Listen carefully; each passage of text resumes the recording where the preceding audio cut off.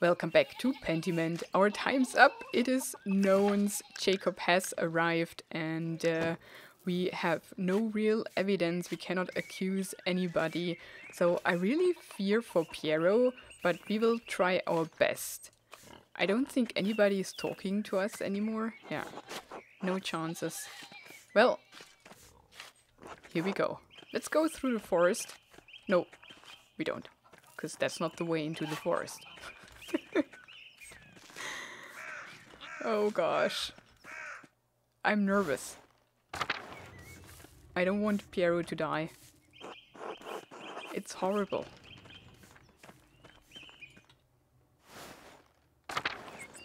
So let's be prepared and before we go to the abbey, he doesn't talk to us either, we will read our journal. That's the least we can do. So, what did we find out? The Archdeacon's investigation. The Baron's man, Miklaus, has departed for Innsbruck to request the presence of the Most Reverend Jacob Estler, Archdeacon of Freising. He's here now. He will be gathering evidence about the murder and interrogating those of us who might have information. Jacob Essler, the Archdeacon of Freising, has arrived at Kiersau Abbey and will be questioning people connected with the Baron's death. He wants to question me in the chapter house at Nones, which is now. We found nothing about the stonemason's anger. I should talk with Lucky to find out what he was arguing about with the Baron. He's usually working next to his house north of, of the town commons. We could have followed him, but we did not. The Widow's Curse was about Ottilia Kemperin, who cursed the Baron when we were walking through the meadow. I need to find out why she hated him so much. The widow's house is next to Franz Bauer's. I talked to the widow Kemperin about Lawrence Rothvogel. Well, I tried to, but she only wanted to say that she was glad he died and hoped the abbot was next. I won't be able to get any more information out of her unless I help her around the house, it seems. I found running Kemper's old cane at the widow's house. The head of the cane was missing, and it looked like it had broken off recently. I should see if I can learn how it broke, but I don't think there was blood on it, and it's wooden, so you cannot just clean it off easily. Oh well, wait, did we? Miss Page is here? We did. No, it's just... Ah, okay, I see. This is the quest with the occult hens that we didn't follow through either. I need to figure out the meaning of the cipher Ferenc wrote in the scriptorium. He used a volvel while writing it and took it with him. He can't keep it in his robes all the time, can he? In Ferenc's house I discovered the volvel he was holding when he deciphered the manuscript. I can use this to figure out the cipher he left. I figured out Ferenc's cipher. It says, Hi Gerhard, Latin for Here lies Gerhard. I should check Brother Gerhard's grave in the cemetery. Prior Ferenc has been acting strangely since the Baron arrived. I should talk to him to find out if there was something going on between them. He usually he's usually in the scriptorium, the abbot's house or the prior's house. I found a letter in the baron's belongings. It was from Prior Ferenc. In it, Ferenc said he would not perform a ritual for the baron, even if the baron threatened to turn him in to inquisitors in Innsbruck. I asked Ferenc if he knew anything about the baron's death. He was defensive and evasive. I found the burnt remnants of a note in Prior Ferenc's house. It's unclear what the contents of the note were, but it was written in a purple ink with exceptionally fine lettering. There was a piece of paper on Ferenc's desk that had the imprint of a letter on it. I rubbed charcoal on the paper to reveal the text, which was a letter from Ferenc to the Baron. It appears Ferenc said he would not perform a ritual for the Baron even if the Baron's Baron threatened to turn him into inquisitors in Innsbruck, and we already found the letter anyways. I discovered a silver rod with occult symbols on it and traced and traces of dried blood in the engravings. I believe it may belong to Prior Ferenc. But I do not think this is the murder weapon. because we are looking for a blunt weapon. Brother Gerhard's grave looks like it had been disturbed recently. Wait. This should be prior to that. I should ask Father Gernot for permission to dig the grave up. I suppose I could ask Brother Folkbert to dig it up without the abbot's permission, but he might get in trouble. Maybe I could even tempt Otto Zimmermann into helping me. We found that after digging up the grave. Father Gernot did not give me permission to dig up Brother Gerhard's grave. I may need to convince Brother Folkbert to help me, or Otto Zimmermann. In Brother Gerhard's grave, I found a number of magical tools. It appears Prior Ferenc hid them here out of fear that they might be discovered. The note he wrote must have been a message for a fellow magician to dig them up at a later date. And then we tried to confront Ferenc, but that didn't work out well for us. He didn't tell us anything. The Baron the Nun.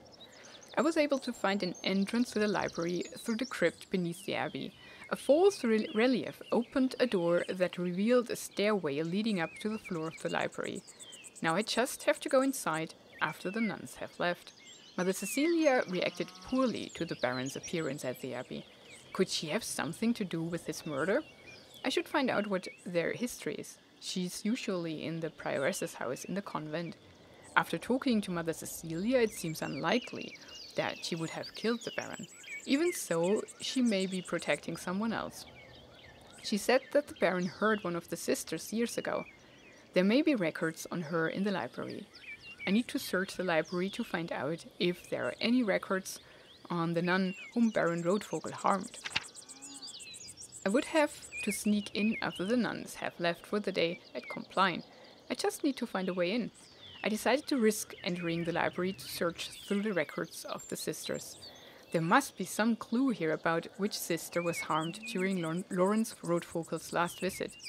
Near the top of the library, I found a record of admissions for the nuns. There was a note about Sister Matilda, staying at a hermitage for several months after Baron Rothvogel's last visit. I should ask Mother Cecilia or Sister Matilda about this. Mother Cecilia acknowledged that Sister Matilda was the nun who Lawrence Rothvogel heard on his last visit. He tried to seduce her, when she rejected his advances, he beat her. Mother Cecilia had her taken to a hermitage to recover and to avoid a scandal. I need to decide what to do with this information. And also, Matilda told us willingly. But uh, again, I don't think she murdered him. And the shovel that we found isn't the murder weapon either, because it also doesn't fit the wound, in my opinion. I found a shovel that Sister Matilda uses in the garden. There's blood on it. I should probably ask her about it. Yeah, so this isn't blunt either. Sister Matilda claimed that her shovel has blood on it because she uses it to kill rabbits in the convent garden. I should ask Sister Matilda about her stay at the hermitage following Baron Rothvogel's last visit it can't be it can't be just a coincidence. I think she works in the convent garden during the day. Sister Matilda told me that the Baron oops that the Baron asked her during his last visit. Her injuries were so severe that Mother Cecilia had her removed to a hermitage to avoid a scandal. She denied being responsible for the Baron's death. Of course she does. So all the others are just uh, not connected to the murder. I'm going to burn the abbot. I mean, the abbot would also have reasons to kill the baron. the flood. Up you a problem with the baron. And then, yeah, from town, Lucky Steinauer, um, the widow Kemperin, and uh, yeah, have also motive. But we don't know Steinauer's motive at all. Spectrum body. Yeah. And at the spinning bee, nothing really. Then the spinning bee, I gained some clarity on the various tensions in town, including that Martin Bauer is a known thief So the women agreed he likely doesn't have the temperament for murder. Yeah, and I think he might have stolen those rings to sell them, but uh, it doesn't make sense for him to steal the book. Only if he thought that it was would be valuable. Uh, and yeah, maybe it is. Why not? And I don't think he murdered the Baron either. And there are new people. Richard Schaff, executioner, employed by Jacob Essler to assist in the investigation of the murder of Lorenz Rothvogel. Oh yeah, right. And uh, Sister Sophie of Birgitz, a quite dutiful Kitchener for the nuns of Kiersau Abbey. Dang. So, I think the only clue we have is that either Sister Stenna or um, Sister Illuminata wrote the notes. So they wrote notes to Matilda, to Ferenc, and to the Baron to meet in the chapter house, right? That's where he was murdered. Was it the chapter house?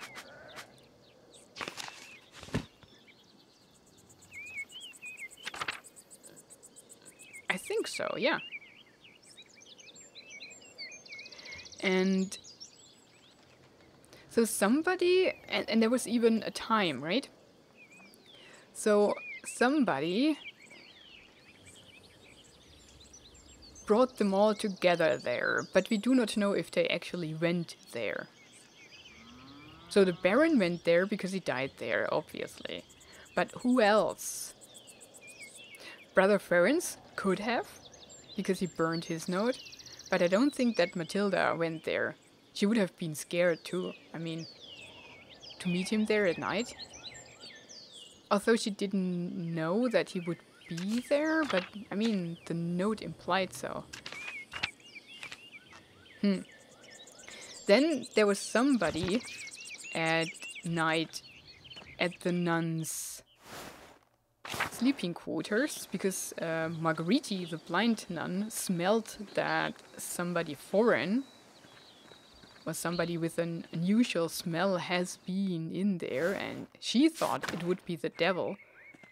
But uh, I think it was either the Baron, when he was still alive, or somebody else who put the note there.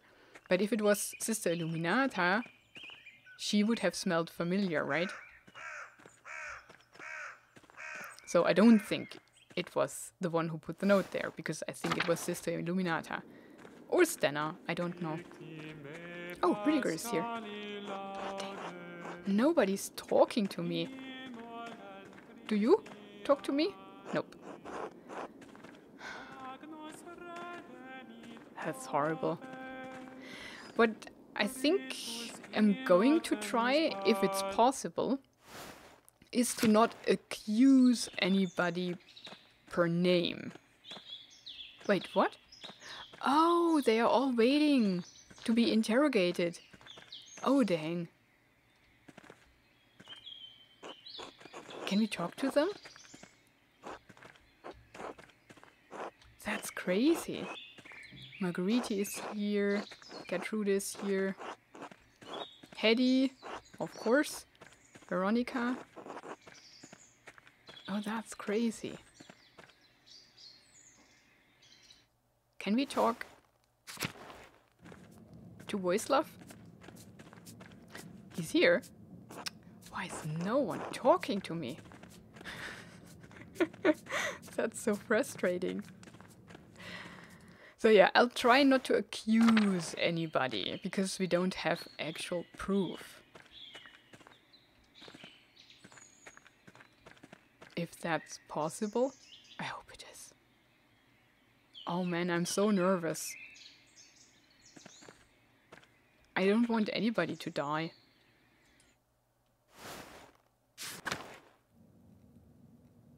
There is Gernot. Andreas. Father Gernot? Master Maler, if you think I'm unaware of your actions around this abbey in the past few days, you're mistaken. Oh? I don't really care what you're aware of. You exhumed the corpse of one of the brothers of this abbey.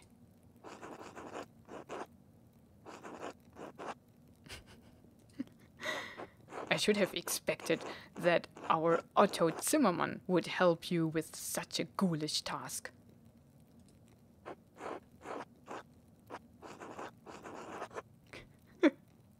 we don't say anything. He'll pay for his role in this obscenity in due time. Now then, for all your meddling, you will not be welcome in Kiersau after your commission is completed.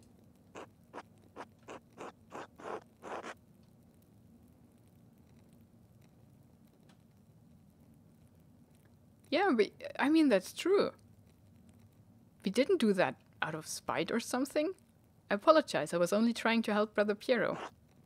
It's too late for apologies. Your days of interfering in the daily life of this abbey will end.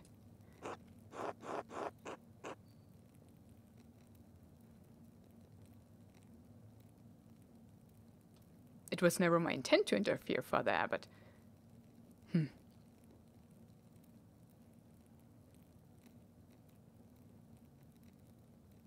Think we don't need to make him even more angry. Uh, I leave you to the Archdeacon now. Try not to preture yourself. God save you, Andreas Maler. Oh, God doesn't need to save me. I'm just fine. We need to save Piero. Is that the Archdeacon? No. That's the Archdeacon. Please state your name for our records.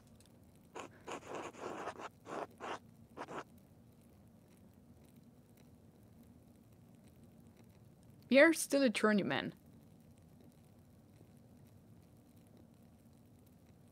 Andreas Maler, journeyman, artist from Nuremberg. What is an artist doing in Kiersau Abbey?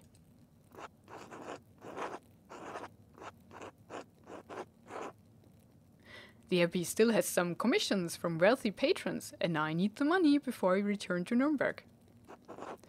Arnold, please write that down. I think we are ready to begin. Of course, Your Reverence. Now then, Master Maler, what was your relation to Lorenz, the Baron Rothvogel? I only knew him for a day, but we were on friendly terms. Do you feel you had a sense of him as a person? Hmm. I think I had, but um, my sense was pretty wrong, right? But he only asks if we feel if we had. So, let's say yes? How would you characterize him?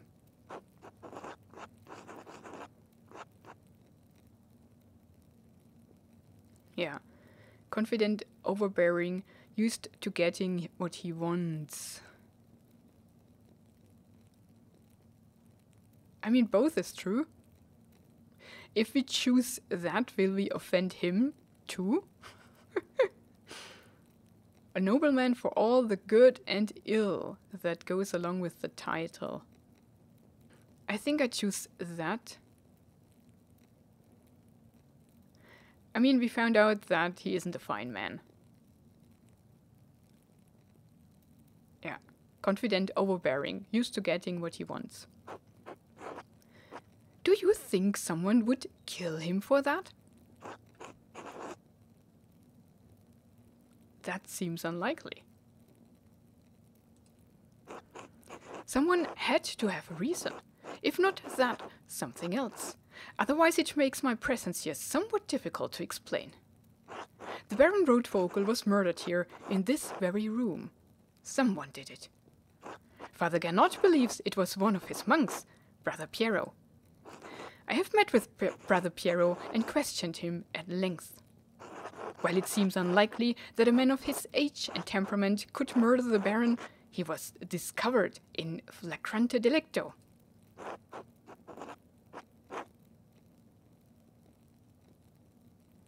The Baron was already dead. Yeah, I mean, that's true. Should we just say that? Why not? If we can influence the conversation, we should, right? Stop talking! But, but you. I, okay. If you wish to advocate on behalf of Brother Piero, I suggest shutting your mouth until I ask you a question. Oh, okay. Piero had reasons to resent the Baron, the loss of his work, the insistence on discussing the writings of the troublemaker from Wittenberg. And as for his age and infirmity, I myself have read of many cases in which a man of modest strength succumbs to the temptations of the devil. Once seized by a devilish fever, the poor sinner gains an infernal power that allows him to inflict grievous wounds, sometimes fatal. It's called adrenaline and has nothing to do with the devil. what I am saying is that, in spite of the curious circumstances, Brother Piero is the most plausible perpetrator of this most vile act. I understand that you are on friendly terms with Brother Piero. You also interacted with the Baron both in town and the Abbey. Did you witness anything that suggests someone else could have murdered Baron Rothvogel? Here we go.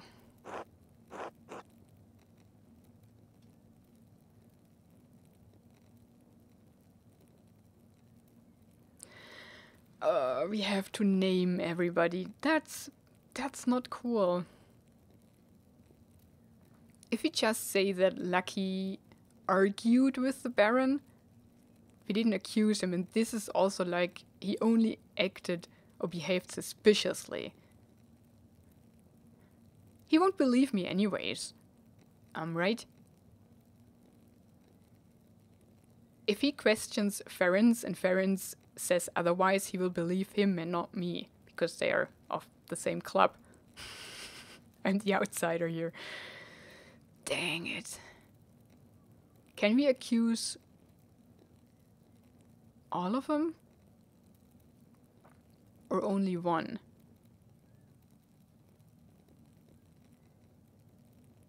I don't think Ferenc killed him, to be honest. At least not with the weapon that we found. I already said that.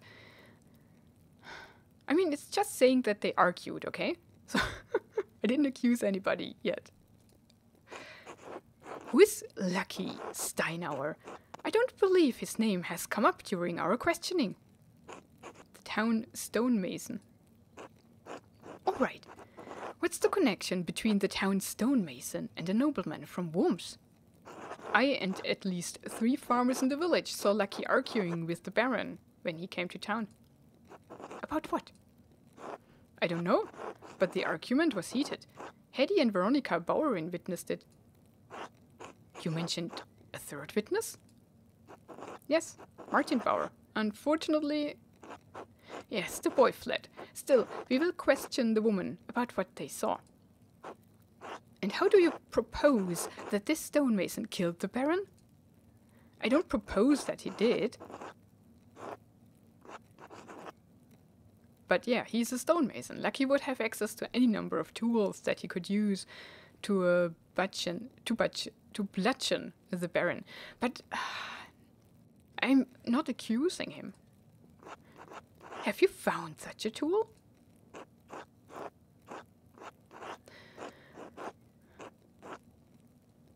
No, but that does not mean it does not exist. And as they are Lucky's tools, only he would know if one went missing. Fair point, Master Maler, but the fact remains it has yet to be found. True. In any case, that is the extent of my knowledge about Lucky Steinauer, Your Reverence. Is there anyone else you can think of who may have wanted to harm the Baron?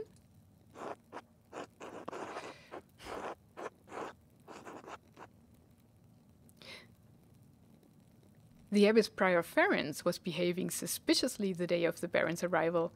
He may have had a motive. That is an extraordinary claim, Andreas. Yeah, that's what I thought. He will never believe me. The abbot speaks highly of the prior, and he oversees both your and Brother Piero's work, does he not?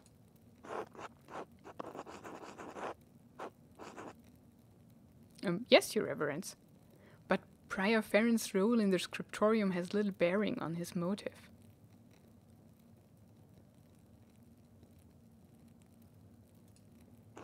An extraordinary claim requires extraordinary evidence for me to take it seriously. Why should I take the word of an artist over a respected officer of this abbey? I can provide evidence of Prior Ferenc's motive. Please do so. Dang it. This is really bad. On the day that the Baron arrived, I secretly observed Prior Ferenc in the scriptorium.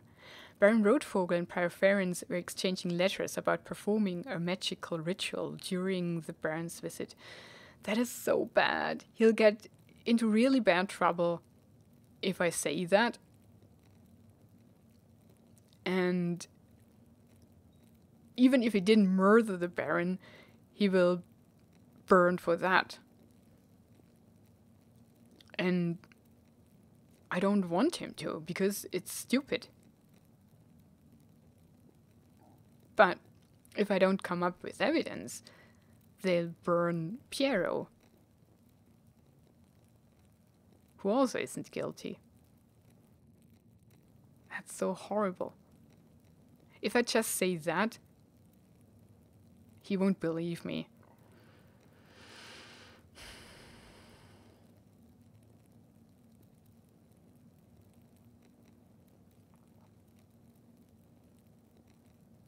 I mean, if I can somehow follow up with that Ferenc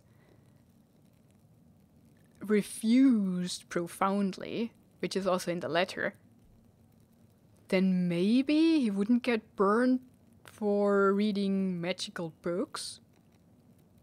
This is such a stupid concept. Oh, I have to. You have proof of this?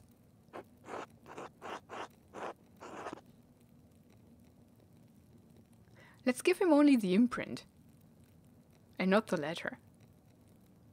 Although we got the letter legally from his wife so that's better. For this we snuck into his house.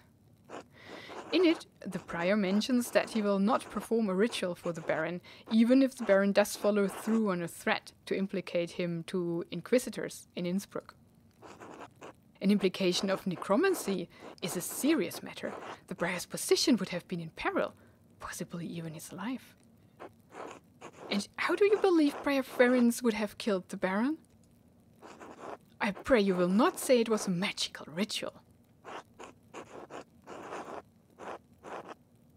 Nah, I'm not certain, Your Reverence. Ah, a troublesome wrinkle. Is there anything else to say about the prior?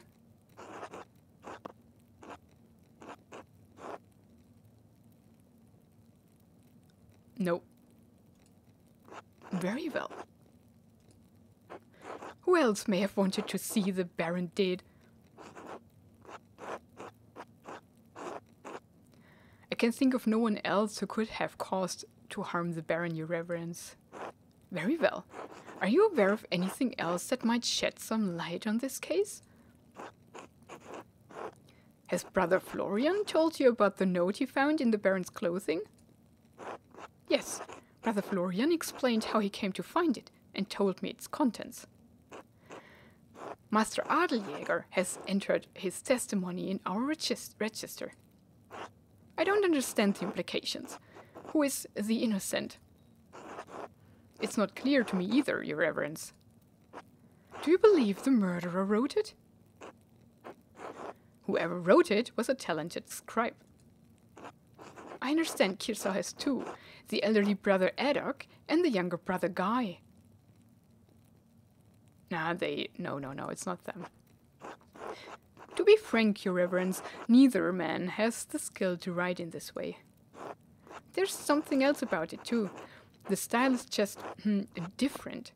It's unlike Adok and Guy's writing, unlike mine. Something about the way the first and second strokes meet on the A and G. Yes, well, whatever the particulars, it seems it will remain a mystery that stands apart from the commission of the murder.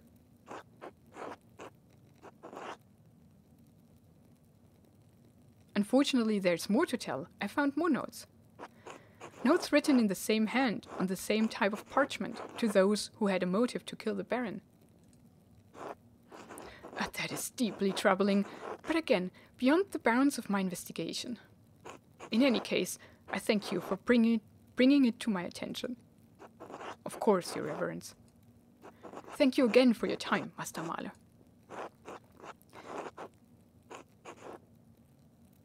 Would it would it be impertinent of me to opine on who is the killer?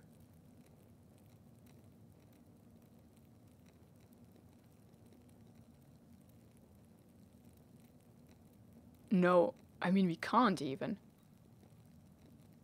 Of course, Your Reverence. I don't actually know if that went well or not. I mean, it didn't, right? Because we had no evidence whatsoever and couldn't accuse anybody. That's pretty bad. But we'll see what will happen in the next episodes. Uh, thank you so, so much for watching it. Have a wonderful and adventurous day and goodbye.